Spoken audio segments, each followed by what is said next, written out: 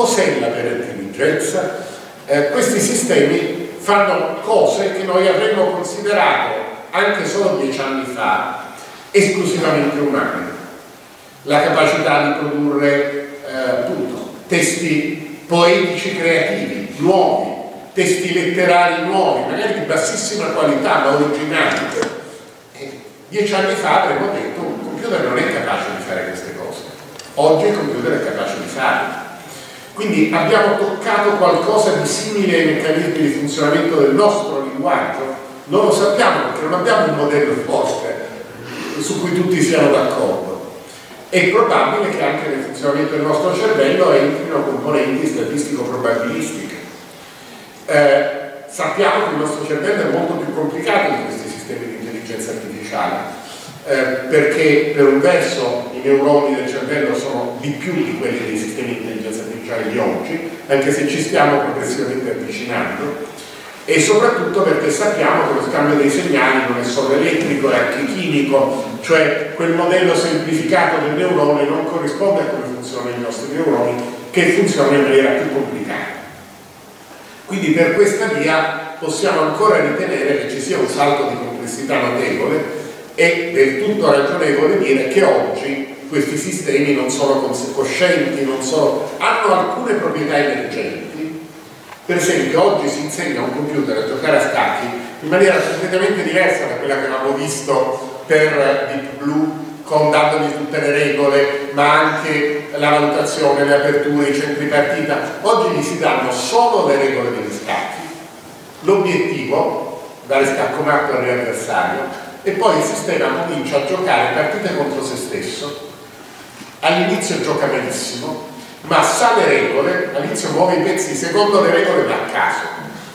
Sa le regole, comincia a giocare partite contro se stesso, sa l'obiettivo, progressivamente impara, sviluppa le sue strategie di gioco, non ho più bisogno di schiere di grandi maestri che gli diano le valutazioni, perché il sistema si crea le sue strategie e creando le sue strategie che a volte noi non capiamo, come mai quella mossa fa vincere il sistema? A volte un grande scacchista ti dice qui ha fatto una mossa geniale, riconosce, altre volte non sa dire perché quella mossa funziona, però il sistema vince.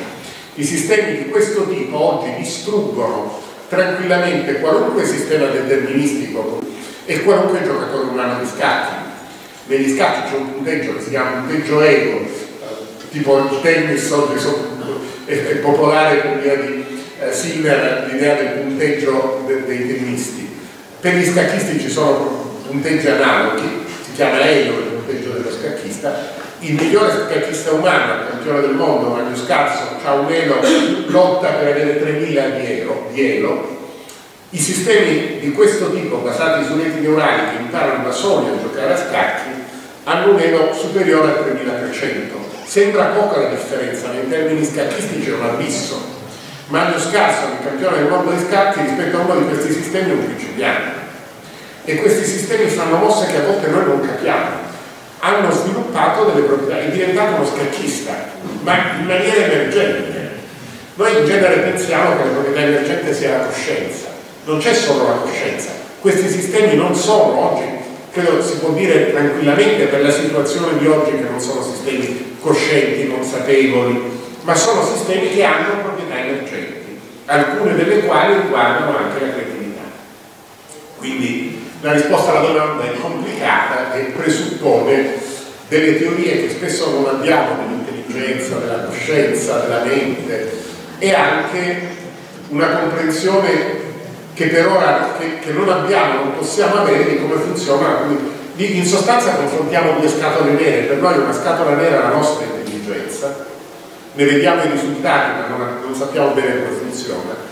Ed è in parte una scatola nera, un sistema di una rete neurale, perché per i motivi che abbiamo detto non possiamo mai sapere esattamente cosa sta succedendo dentro una rete neurale, a cosa corrispondono tutti i numerini di un token.